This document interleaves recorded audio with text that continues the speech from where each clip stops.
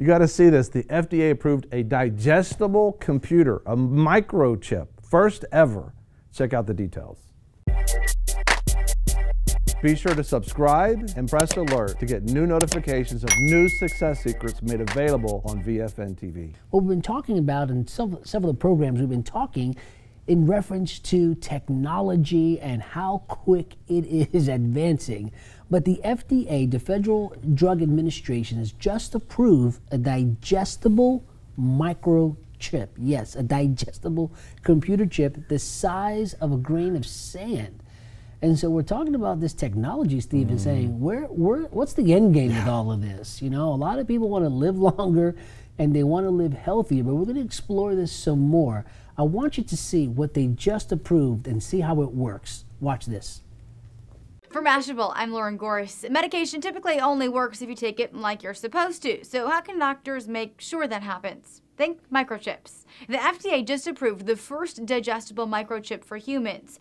Proteus Digital Health has created a chip that's safe to embed in a number of pharmaceuticals. It's a seriously tiny square of silicone, about the size of a grain of sand, and there's no battery required because you're the battery. Stomach acid activates the magnesium and copper in the chip to produce slight voltage. The signals are transmitted to a wearable patch and from there to a cell phone. The sensor itself records the time of medication and the capsule's specific ID.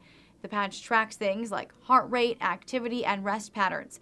The patch is battery powered and good for about seven days. Proteus envisions this providing especially reliable feedback for those drugs that patients take for things like diabetes or chronic disease. And it could let doctors track their patients through a prescription to make sure they're getting the most out of that penicillin. Amazing. Listen, it's a chip that goes inside of the medicine into your body and they'll be able to regulate it with an app and a technology. See how these things is advancing. Mm-hmm. This is amazing, this technology. Well, it, it, to me, it's it's it's amazing how fast, as we've talked about in previous programs, how fast technology is advancing. You know, we're not aware of how it's affecting industries. And right now, you have you know wearables that can monitor your heart rate and what's happening, and you're seeing now it's just like it's outside of you. Why not just put it inside of you? And you think about it, it's just like, you know, when you go on the internet and you, let's say you search for something on a website, you have all these different advertisements for the last two weeks and it knows everything about you. But if you were to go to the doctor six months from now, they don't know anything about you and they just want to they want to track. Forget about it. Amazing. HIPAA. I mean, you know, yeah. forget the HIPAA laws. Right. Now they're going to be knowing everything about your health, and not just you, but everyone yep. around the world. Yep. And so you're, you know, as this technology advances, the more you get to lose a sense of privacy. If you haven't noticed, you're on camera all the time, mm-hmm. you're being watched all the time. Everything is just laid out in the open, and there's no sense of privacy, of being alone, or anything being guarded.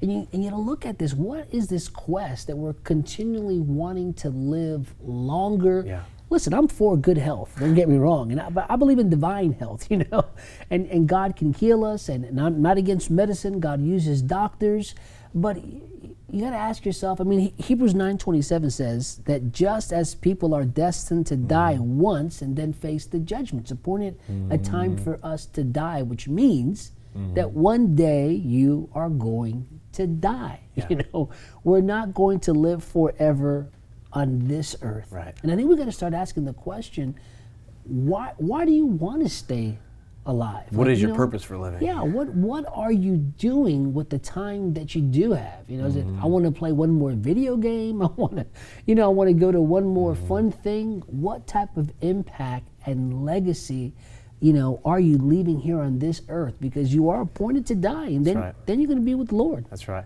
And I think what's powerful, I can't remember who said it, but those who had the most impact on this life weren't living for this life in the first place. They were living for eternity, the next life. And it's just like as you're saying, we're, all, we're, we're going to live forever. The question is, how much time are we going to live in this life? Because after this life, it's eternity. And it, it matters that we're not wasting this life by focusing only on this and neglecting eternity. The Apostle Paul said that is that to be absent from absent from the body is to be present That's with right. the Lord. You know, you shouldn't be afraid of dying. You should be afraid of dying before your time, dying and going to heaven, you know, empty with nothing. You know, mm-hmm. you want to run the race and you want to hear, well done, good, good and faithful, faithful servant. servant. You know, you've accomplished what God has called you to do because this really is, is a short amount of time. We get so focused about life on earth that we forget that we're going to be around for eternity. Right. But what you do here in this life will affect what will happen in that life. Mm-hmm. And so, but with this technology, this this this stirs up you know makes me want to think about revelation 13 mm-hmm. you know in fact we have those those up and steve i want you to read it mm-hmm. because this is a microchip yeah you know and many believe that that this chip that revelation 13 talks about it doesn't talk about the, the chip it talks about the mark of the beast could literally come in a chip and it's going to be mm-hmm. in, you know injected in the skin and the forehead mm-hmm. but i want you to read what the scriptures say it says then i saw a second beast it made the earth and its inhabitants worship the first beast. And it performed great signs, even causing fire to come down from heaven to the earth in f- full view of the people. It deceived the inhabitants of the earth. It ordered them to set up an image in honor of the beast who was wounded by the sword and yet lived. The second beast was given power to give breath to the image of the first beast, so that the image could speak and cause all who refused to worship the image to be killed.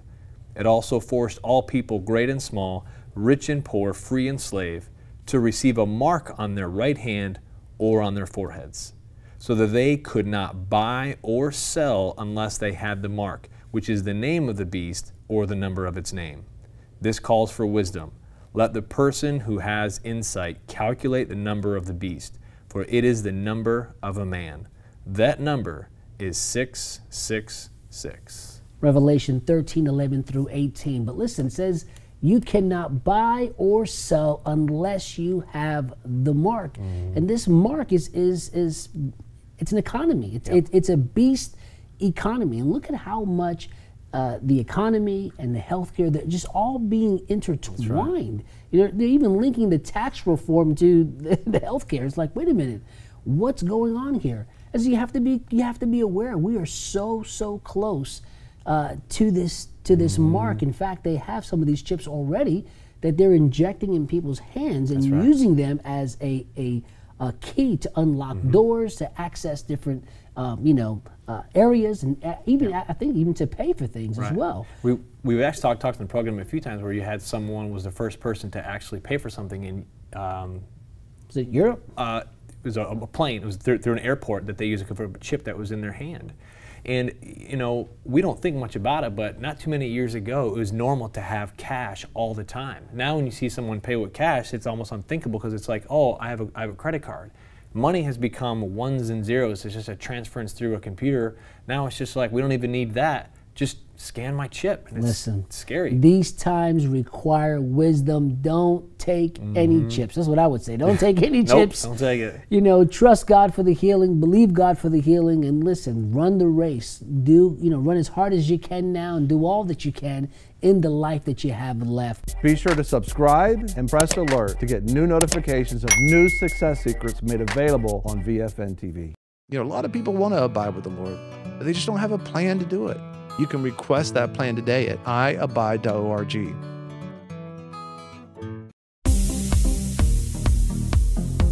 I'm your host, Greg Lancaster, and we're so glad that you've joined us. Don't forget you can join us 24 hours a day, seven days a week. Download our app and sign up for our newsletter, The Torch, at VFNTV.com. I've enjoyed our time together. God bless.